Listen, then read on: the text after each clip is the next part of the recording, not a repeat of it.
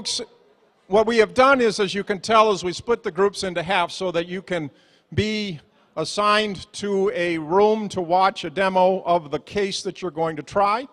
This is a little bit of an experiment with you all in the sense that usually we don't do closing arguments in the case that you are going to do, and there are some dangers or downsides of doing a closing argument demonstration in the case that you're going to do. The fear is that you will uh, take notes and copy this and not make your own decisions about how your case goes. Uh, obviously, these are examples, and in fact, what we have is we've told the folks that they're not going to do a full closing. In a case like State versus Cortez, you probably would close in a much longer period of time. Um, you will see that what these folks are doing is they're showing you pieces of the closing, and they will talk to you about some of the choices that they're making about what they would otherwise cover. We hope that you find that this is helpful in your preparation to see these closing arguments. Let me make one quick announcement, then I'm going to turn it over to Susan Steingast to be the moderator for this session.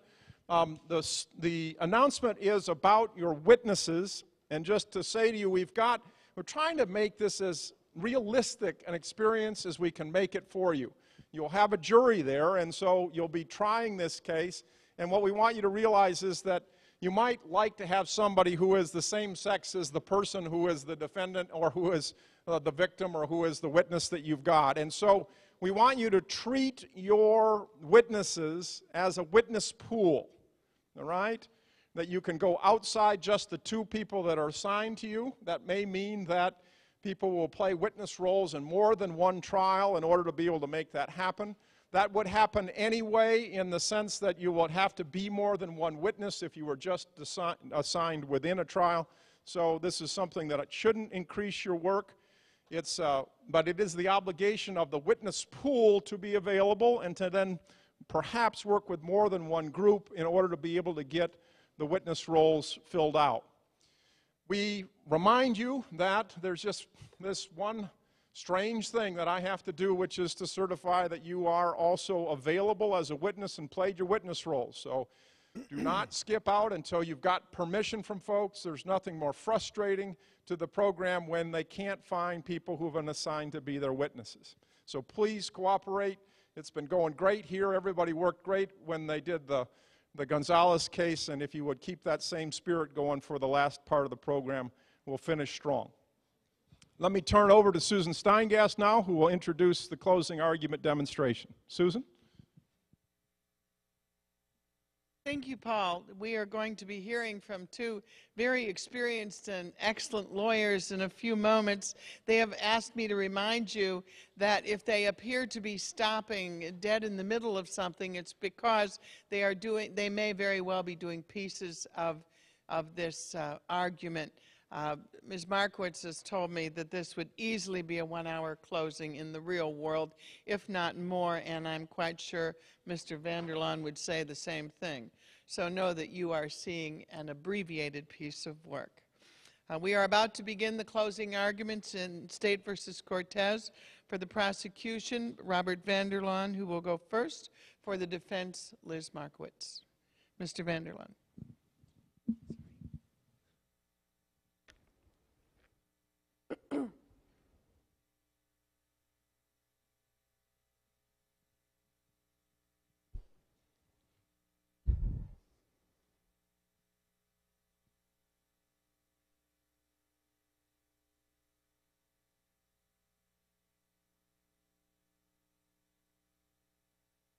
Please the court.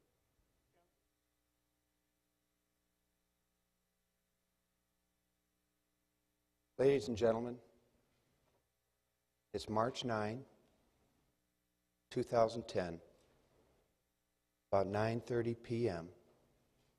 outside of Herman's restaurant on 4th Street in the state of Emory. A black 2008 Honda drives up right outside the door, and the defendant, Juan Cortez, and his partner get off the motorcycle and they walk in to Herman's restaurant. The defendant, Juan Cortez's partner, walks to the middle of the restaurant and raises a 38 caliber pearl-handed Smith & Wesson revolver owned by defendant Juan Cortez's wife given to Louis Grimes on February 3rd, 2010 which also happens to have Juan Cortez's fingerprint on it. And that man announces to the 64 people who thought they would go to that restaurant and simply have dinner that this is an armed robbery. And he told those people that they needed to take their money and that they needed to take their jewelry and put it in a bag. As that was happening, things went terribly wrong, and the defendant, Juan Cortez, took his 9 millimeter revolver and he shot and fired at an innocent, law abiding, defenseless 22 year old architectural student by the name of Joseph Schmidt and killed him. And then Juan Cortez, leaving his partner behind,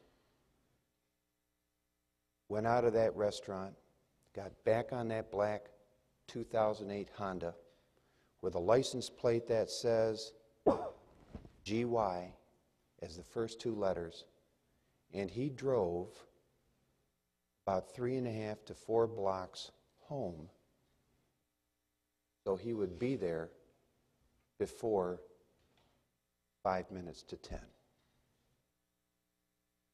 Ladies and gentlemen, this is a murder case.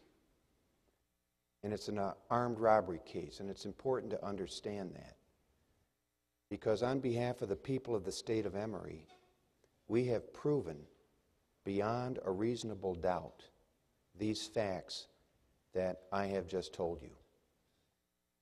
We have proven beyond a reasonable doubt the elements of three felonies malice murder, felony murder, and armed robbery.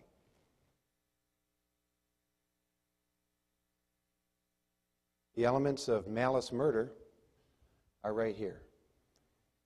Defendant acting alone or with one or more persons, that would be Louis Grimes, caused the death of Joseph Schmidt.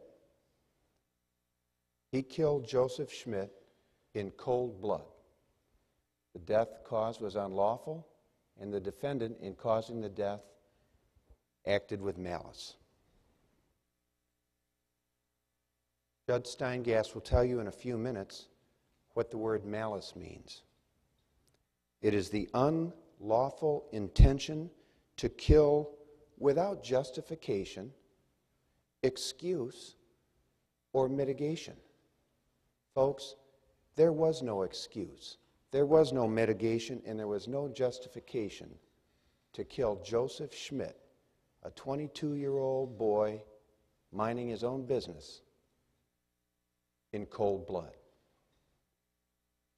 Notice, none of those elements say that I have to prove beyond a reasonable doubt that Juan Cortez needed money, that he was in a gang, that somebody burned his garage down. We have proved these elements beyond a reasonable doubt. Felony murder. That the defendant Juan Cortez, acting with Louis Grimes committed or attempted to commit the crime of armed robbery. Louis Grimes told people to put their money and their jewelry in a bag in the middle of Herman's restaurant. In the course or in furtherance of that armed robbery or the immediate flight therefrom, the death of Joseph Schmidt was caused. It was an armed robbery that 38 caliber pearl handled Smith & Wesson belonged to the Cortez family. And that's a stipulation that we have in this case. Armed robbery.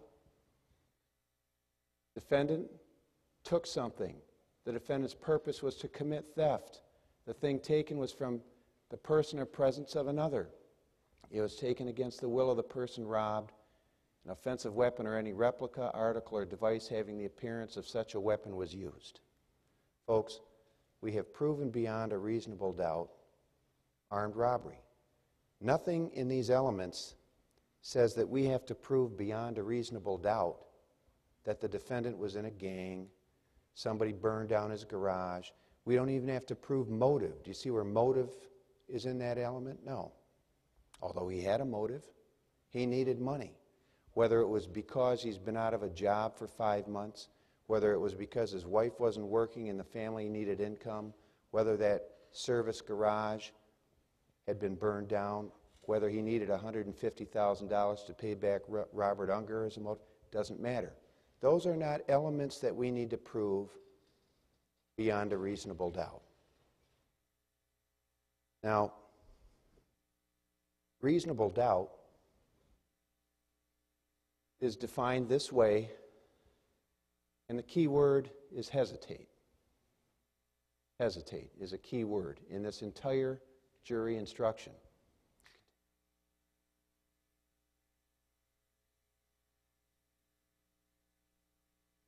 Ladies and gentlemen, it is the people of the state of Emory's burden to prove this case beyond a reasonable doubt. The defendant has rights in this case, and he's got the right to due process. He's had that right. He's had a fair trial. He's been provided that right. As part of that right, he could decide not to call any evidence, not to call any witnesses. We know that. But instead, instead, defendant Juan Cortez chose to exercise his due process right and call witnesses and put in evidence. And I want to comment on that. But something has just occurred to me. While the prosecution and the people of the state of Emory have rights, and while the defendant Juan Cortez has rights, there's somebody else who has rights here. Somebody else has rights in this case, and ladies and gentlemen, that's you. Because you have the right to use your common sense in this case. And when I say you have the right to use your common sense, what I mean by that is you have the right to judge these facts that we have proven not just once, but in many forms. You have the right to use your common sense that the facts we've proven show that these crimes malice murder, felony murder, and armed robbery have been proven beyond a reasonable doubt. For example, the motorcycle. There's the 2008 black Honda. It's been identified. Who owns it? Well, we know who owns it. It is Juan Cortez. We know that GY is the license number. How about the gun? There it is, the pearl-handled 38 caliber Smith & Wesson pistol owned by Maria Cortez with Juan Cortez's fingerprint on it. We've proven this beyond a reasonable doubt. How about how this crime was committed? Well, how long does it take to go from Juan Cortez's home to pick up Louis Grimes, to drive a few blocks to get to Herman's restaurant? But more importantly, how long does it take to drive back? Up 4th Street, Woodruff Lane, onto Church, and be back this three and a half or four blocks? Can you negotiate all of that in 15 or 20 minutes? Most people might say that you could drive 8 to 15 miles in 20 minutes, let alone three and a half to four blocks. How about the restaurant? We know that defendant Juan Cortez was here. We know that Joseph Schmidt, we know that Louis Grimes and everybody was in that restaurant. Louis Grimes has told us that. There was no reason for people to wear a bandana as far as Louis Grimes' testimony is concerned because Louis Grimes knew who he was rolling with on that 2008 Honda motorcycle. And we know that Joseph Schmidt was killed because here is Claire Diaz's medical opinion, medical examiner, that he was killed and that it was a homicide. Now, I suspect that in a few minutes, after I sit down, we're going to hear a couple of things. First thing we're going to hear is something along the lines that you can't trust the testimony of Louis Grimes. Because Louis Grimes flipped. He's testified against the defendant, Juan Cortez. And you can't trust that testimony. And this is the kind of man that you really wouldn't want around. This is the kind of guy that nobody likes, and he's a felon, and you can't believe him. This is my comment on that. I don't have the luxury to go to Hollywood, to go to Central Casting, to go to the church and pick out my witnesses. I have to use the witnesses who committed the crime. I'm going to tell you something else. Louis Grimes was okay for Juan Cortez. I didn't pick Louis Grimes. Juan Cortez picked Louis Grimes. And Louis Grimes is the man who points a finger and who got a plea bargain. But that shouldn't be a surprising reality to you, ladies and gentlemen. If you've ever watched a TV program or a movie, you know that plea bargains are an accepted part of criminal law. It's the way you not only get one conviction, but you get two convictions when somebody will finally step forward and tell the truth. I don't apologize for having to use Louis Grimes because Juan Cortez has never apologized for having included Louis Grimes in the commission of these three felonies. I suspect we're going to hear something about what is known as an alibi. You know what an alibi is? An alibi is real simple.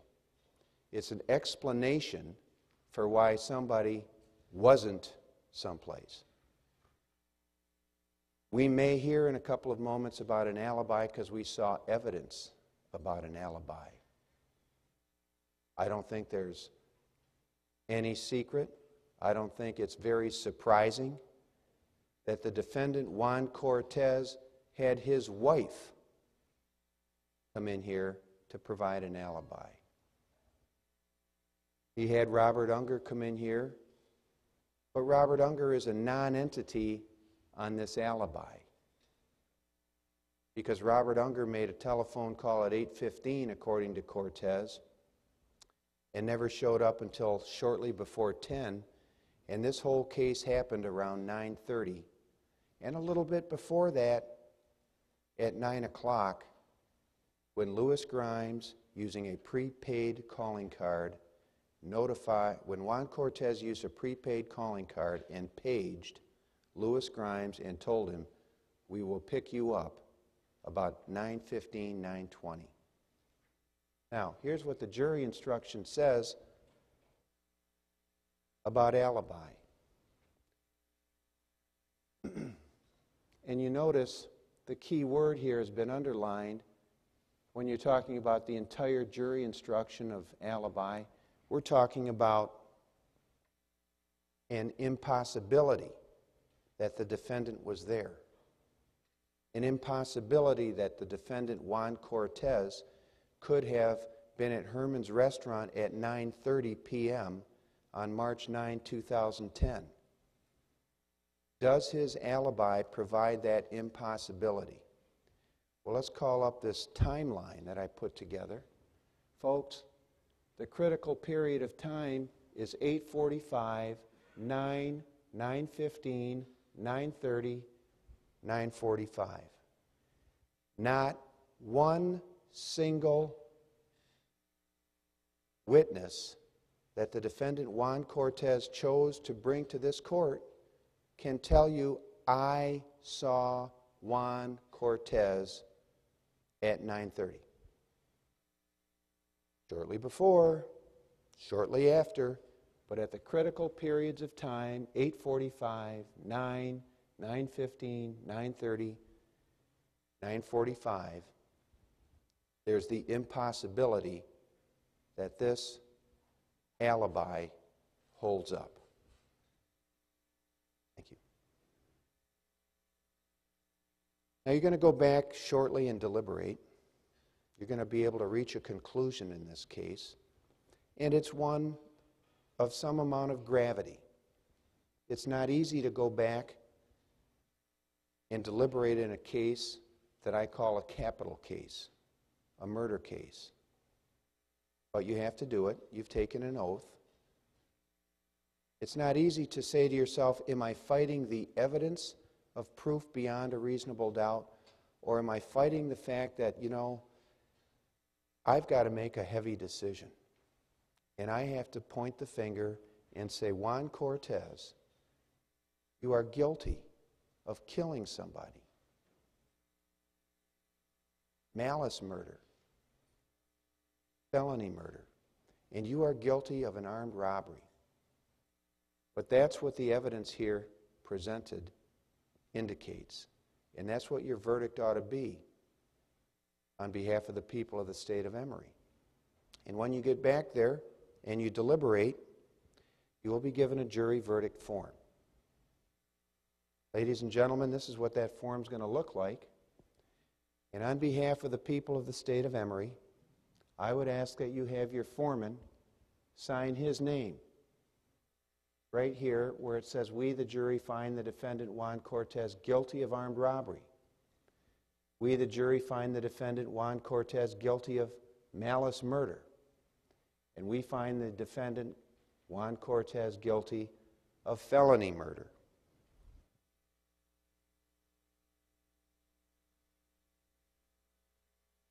Ladies and gentlemen of the jury, on behalf of the people of the state of Emory, I thank you.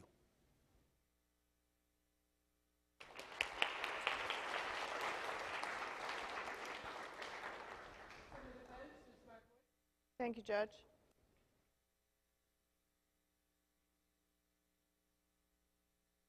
May it please the court, Mr. Vanderlaan. Ladies and gentlemen in the jury, while Mr. Vanderlaan was very eloquent and he can talk without notes, I'm pretty nervous. Um, and I'm nervous because this is the last opportunity that I have to talk to you on behalf of my client, Juan Cortez, on a very important matter.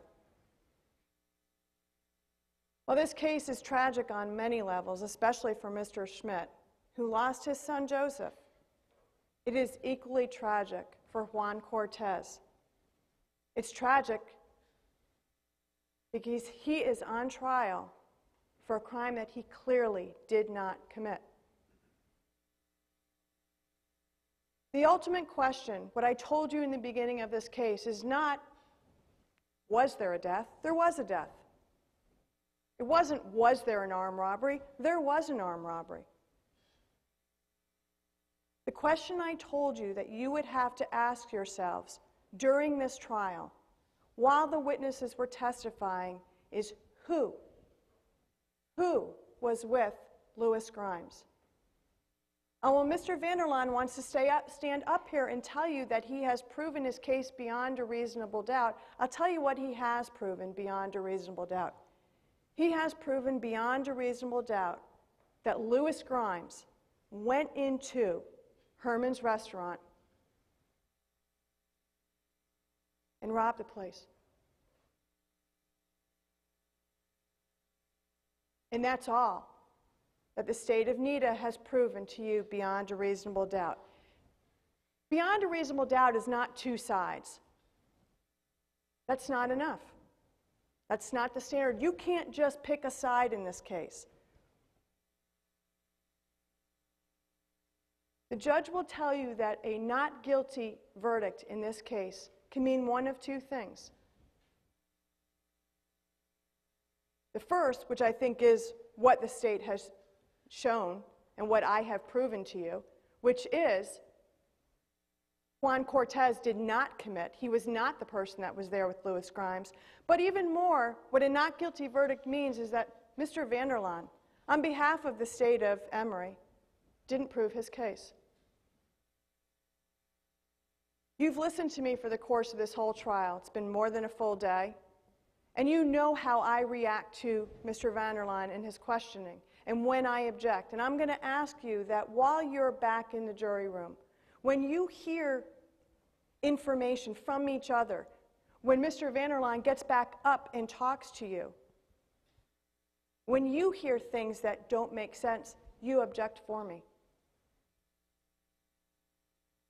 This is the last time that I get to talk to you, and so if I forget something, it's not because it wasn't important, it's maybe because I just forgot. And again, it's your collective memories. It's what you heard from the stand that's important. And so talk about it in the jury room. If you think that Juan Cortez was with Louis Grimes, if you feel like he was, then you must return a verdict of not guilty. Because thinking and feeling is not proof beyond a reasonable doubt. If you still have questions, if you still wonder what, what exactly was going on, who, who for sure was in there, then you blame Mr. Vanderlaan. It was he who said in the beginning, I gladly accept the burden of proof. Well, now you take that burden. And unfortunately, you did not prove your case. If you still have questions, if you would have liked to have heard from somebody, one witness of the 64 people that were having dinner at Herman's, who could say, I saw Juan Cortez there, then you blame him. I submit to you that the reason you haven't heard anybody come in other than Louis Grimes is because there isn't anybody. Why not? Because Juan Cortez wasn't there. The only person who identified Juan Cortez at the scene was the person who we know was at the scene. Mr. Schmidt never made an identification. He couldn't. He saw the person and no other patron. What is reasonable doubt? It is just that. It is a doubt for which you can attach a reason and you must acquit. The fact that nobody other than a perpetrator can identify who was with him raises for you a doubt for which you can state a reason and you must acquit. The judge will tell you the same thing. Mr. Vanderlaan is right. You don't leave your common sense at home. You are the judges of the credibility of the witnesses. And like Mr. Vanderlaan said, I will talk about the fact a little later on that Louis Grimes only comes up with this story when he is told specifically by Officer Moss. You heard Officer Moss, he told you, I told Grimes. If you tell me it's Cortez, not tell me who was with you, but tell me it was Cortez, I'll get you a deal if that raises a question for you as in terms of what the truth really was, And it should raise that question what the truth really was.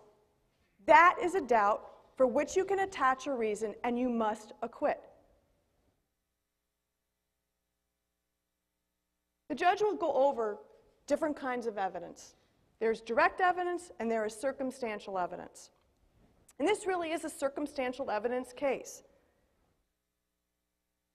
And what the judge will tell you is that in circumstantial evidence cases, you have to exclude every other reasonable hypothesis but that of the guilt of the defendant.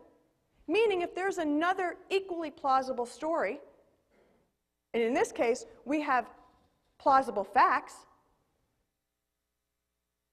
then you must acquit because it means the state, the man who willingly took on that burden, Mr. Vanderlaan, has not proven his case beyond a reasonable doubt.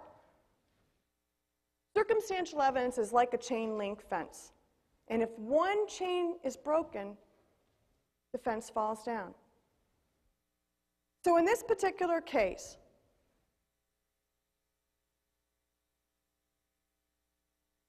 you heard Mr. Vanderlaan's evidence. You heard Joe Schmidt, uh, I mean, um, Herman Schmidt, say that he had information from his son that it had been either Mr. C or Mr. Z who had come in and tried to extort the business. And that, that same night of the armed robbery on March 9th, that his son, what he inferred was saying it was the same man, was back in the shop, back in the restaurant. What?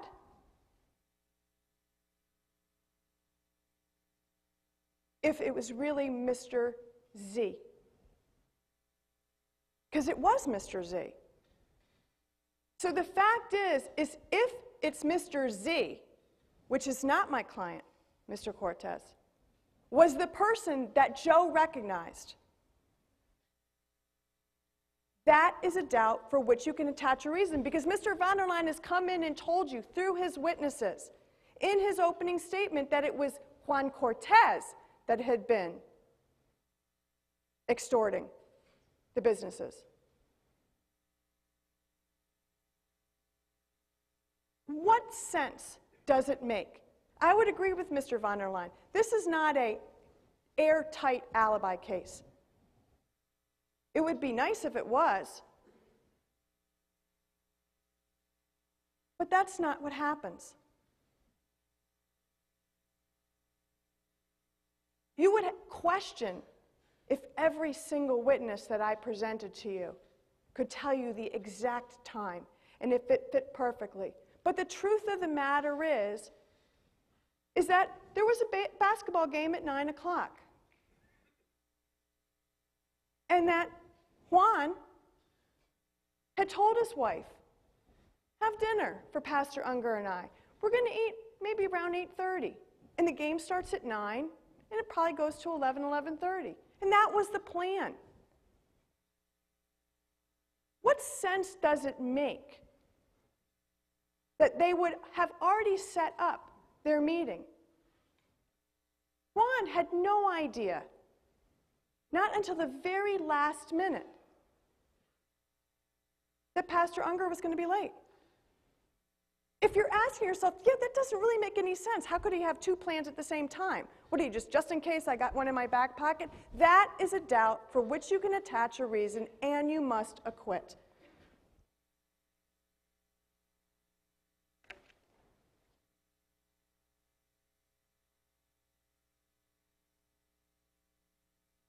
The law and alibi. If you combine that with reasonable doubt, basically this is what it is. Mr. Vanderlaan has to prove beyond a reasonable doubt that Juan couldn't have been at home. And he can't.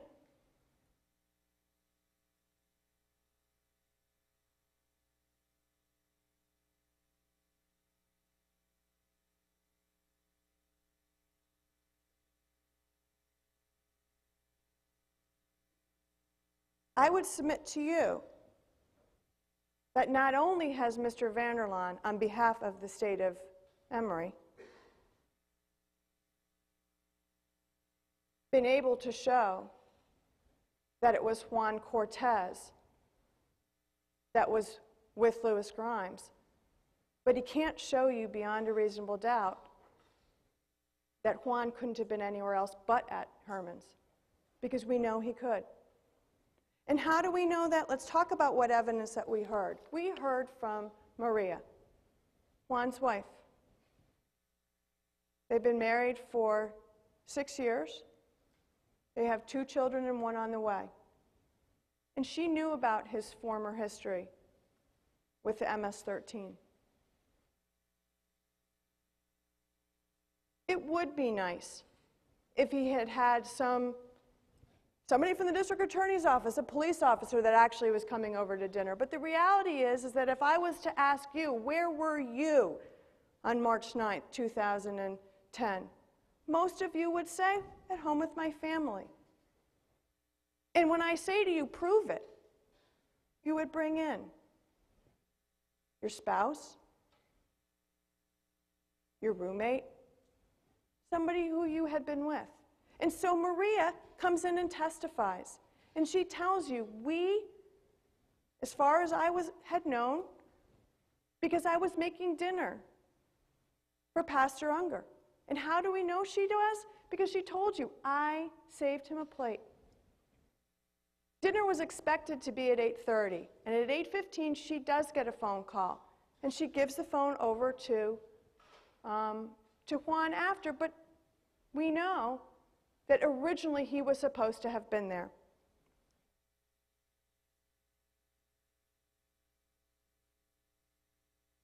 Maria tells you some other things about Juan. She tells you how they met. They met at church. She tells you that he clearly was a motivated man,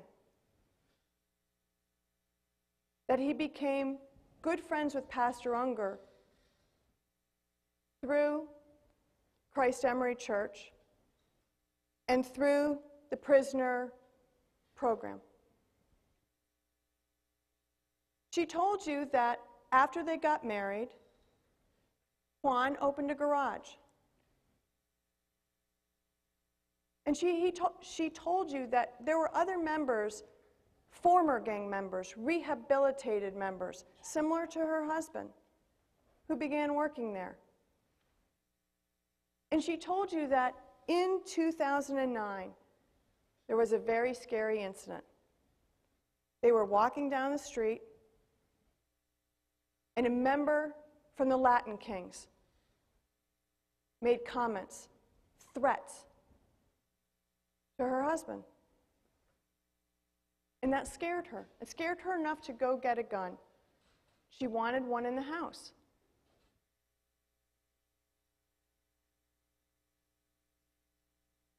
You heard from Juan, and he told you what happens when you are a gang member and you try to get out. He told you what it was like in prison when he was trying to get out.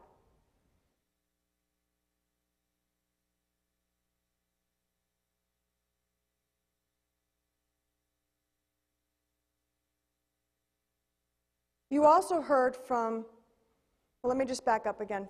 One more thing about Maria. When Maria told you about March 9th in the evening, she told you that Pastor Unger had said that he would be over sometime before 10. And that sometime before 10, she hears him come in the house. And he calls out to her. She calls out to him. And then Pastor Unger, going from the downstairs to upstairs where Juan is watching the game, goes and watches the game. She told you that she would have heard, because she kept the door open, she would have heard if her husband had left. She would have heard if the motorcycle had been cranked up. Again, your common sense. We all know about motorcycles. They're loud, they make a loud noise. It's something that she would have been alerted to. And she said, I never heard it. Mr. Vanderlaan wants to say that she's biased. She's married to him. Did he call any neighbor to say whether they heard the motorcycle turned on that night, cranked up, revved up? The fact that you haven't heard from anybody else but Louis Grimes is a doubt for which you can attach a reason and you must acquit.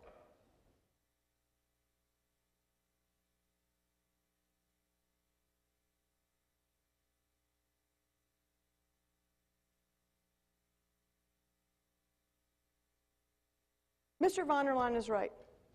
You take your witnesses as you find them. But that doesn't mean that they're not lying. And I told you, and you heard about Louis Grimes. Louis Grimes, whose history is of violence burglary, robbery, first degree burglary, now armed robbery and felony murder. Looking at a life sentence. How about we reduce it from a life sentence to a 50 year sentence? No, wait a minute, not a 50 years, not a 40, a 10 year sentence. And what does Louis Grimes have to say to get the 10 year sentence? It's Juan Cortez. That's all he has to say. And what does he do? He says it. Well, let me ask you a question.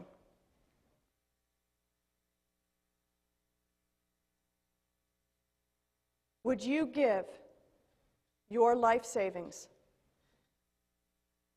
Would you give your child's college tuition to Louis Grimes to hold for a month? And I would submit to you that you would not because you don't trust him. So, why would you trust him in anything he said today?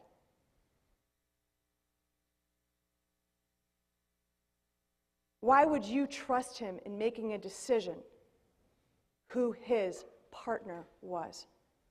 That is a doubt for which you can attach a reason and you must acquit. The decision that you make today is an important decision. Your decision that you make today is a final decision. You can't come back tomorrow after you have returned a verdict and say, but wait, I still have a question. You don't all have to agree on your doubts. You just have to have a doubt. And you do. And I'm asking you, on behalf of Juan Cortez, to return a verdict that speaks the truth.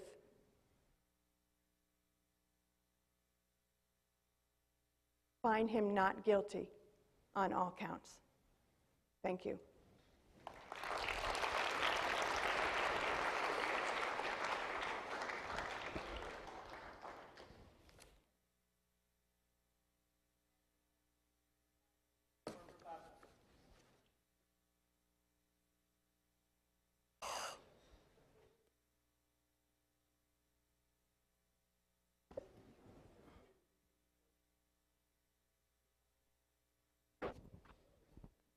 This on? Yeah. Okay, thank you. May it please the court, counsel.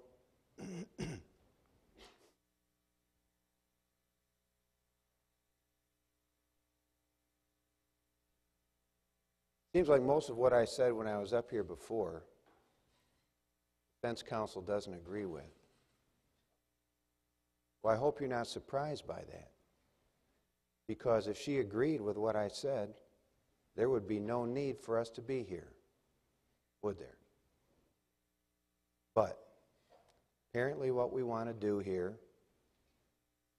play the blame game. Blame me. Blame Vanderlaan.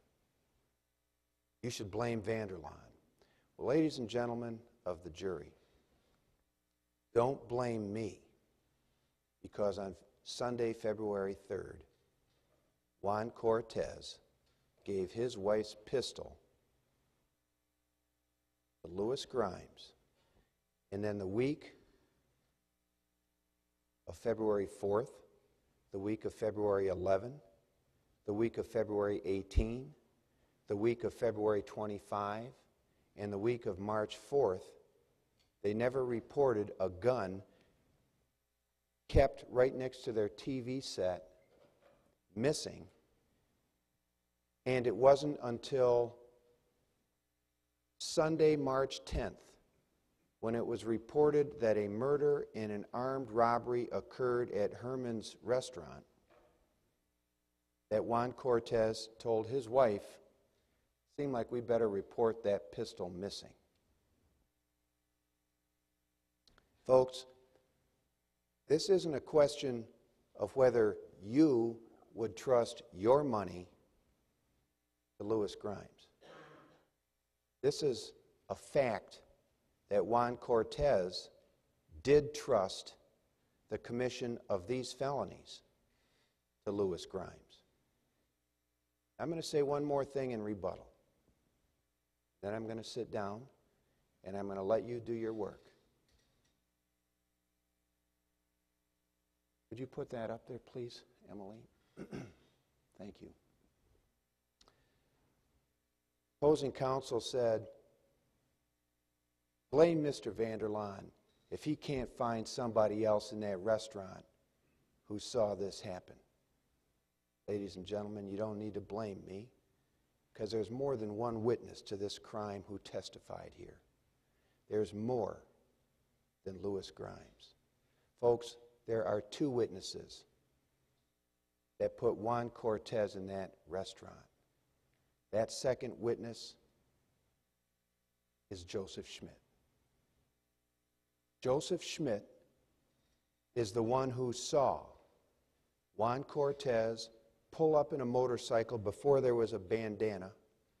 It was Joseph Schmidt who, in a dying declaration, told his father, That's the man who was in here. It was Joseph Schmidt who lost his life because Juan Cortez saw Joseph Schmidt once again, like he had before when he tried to shake him down for protection money. Ladies and gentlemen, Joseph Schmidt is another witness and was in that restaurant. And when you get back there and you think about that, you don't need to blame me. You need to come back with a verdict and you need to blame that man, Juan Cortez, for malice murder, felony murder, and armed robbery. Once again, I thank you on behalf of the people of the state of Emory.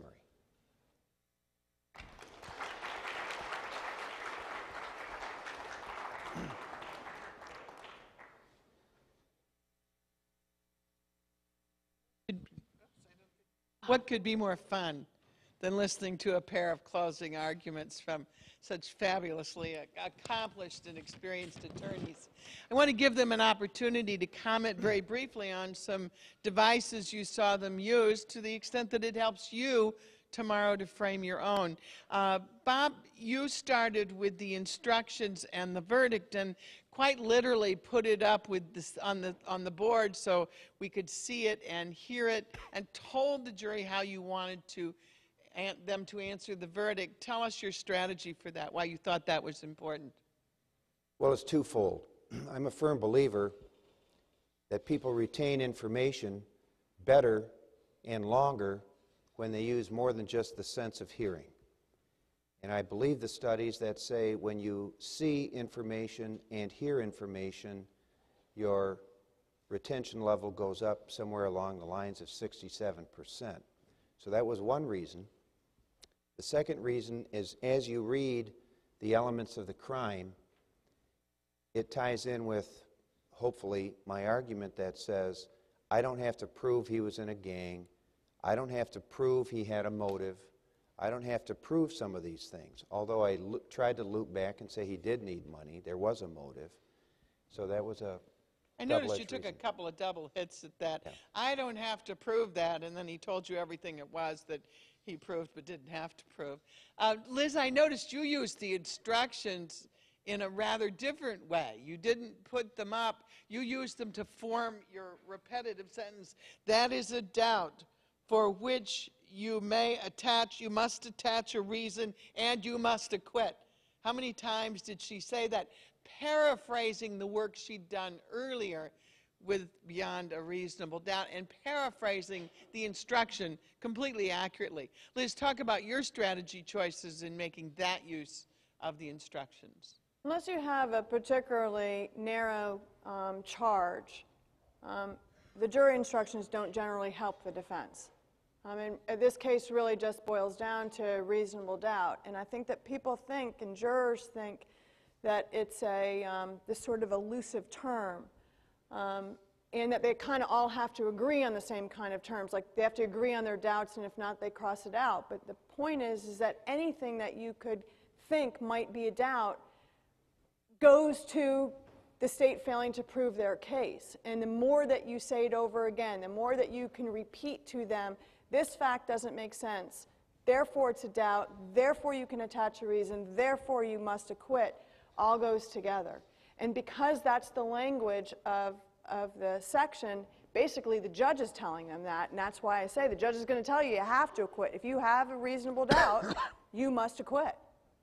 But it's important, isn't it, also, as you are paraphrasing, to be completely accurate in your paraphrase? Yes. Yes, because he's just looking for something where he can say, oh, well, no, I object reluctantly, Your Honor, because that's not the law. She has not stated it correctly. Liz, I wanted to ask you about something you did. You began by confessing that you were nervous. Uh, at another point in time, you said, if I didn't say it, maybe I just forgot. I think a lot of people feel that they have to be completely powerful and self assured in the courtroom. Talk about that. Um, I violate the NITA rules in that I am very much tied to my notes. I, I'm very much of a perfectionist. I like to say things the right way. Um, I did, you guys saw the opening the other day. Um, you can't read from them. But I sort of ask forgiveness, and I'm, through the trial, people have seen me make mistakes. I mean, we stutter. That's, that's something we do. Instead of freaking out about it, just address it right away. I mean, my handshake, they'll see that. I mean, in a closing argument like this, in Georgia, I have two hours to close in a murder case. And usually I'm going to close for close to two hours and sometimes want to go longer. And you come in with like a stack of paper like this. Well, rather than have them freak out, just tell them, listen, this is important stuff. Um, it's going to take us a little while. We're going to do it together. I'm going to keep the case going. But if I forget, you talk about it. I mean, a lot of things that we've learned is that jurors will go back in the jury room and say obscure things like, well, she didn't talk about it, so I guess it wasn't, you know, I guess we don't, we don't need to talk about it either, even though that might be one of their reasonable doubts. And Bob, something that came out of your mouth in a very sort of as if this were completely unpremeditated way, uh, when you said, something just occurred to me. I'm just betting, just a guess. Maybe it occurred to you before then? No, it, ju- it did. It just came to me. Objection. No, you're right. It, Yeah. That's, uh, that's part of having fun. Yes. And the rights of the people in the jury to hear all of this. But, but notice, I, I pointed those two things out because it was in both cases so human and so unformalistic and so persuasive and gave us a sense of the credibility of these lawyers as well as their cases. Last thing I'd like to, oh, I'm sorry, Liz, please. Well, I just think that one thing that you have to be really careful of that you fall in, and, and we both fall into those traps. The state often can fall into this trap, and the defense can often fall into the trap, is sort of listening to somebody else's argument and hitting that panic level, like, oh my God, he sounded so good. Because honestly, he did sound really good. And, and that's why they presented the case. But you've got to say back to yourself, well, while he has an interesting argument, let's go back to what we have as well. Don't just spend the whole time in your argument chasing him or him chasing me. It's a huge, huge pitfall. Um, be confident that you've got, he's going to have good points. He's got to. If he didn't have good points, he wouldn't have put up the case. You either would have pled it out or they would have dismissed it. And the same thing with the defense. I mean, sometimes you're just putting up a case because the offer's life and pony on up. But go back again to the basics, which is you're talking about the law and you're talking about reasonable doubt, and stick with that. Don't chase. Last, I want, I know we're all tired and, and ready to get going on our own trials, but last, I want to give people a chance to talk about rebuttal. Uh, Bob reserved for rebuttal, and I am expecting you prosecutors will want the last word tomorrow.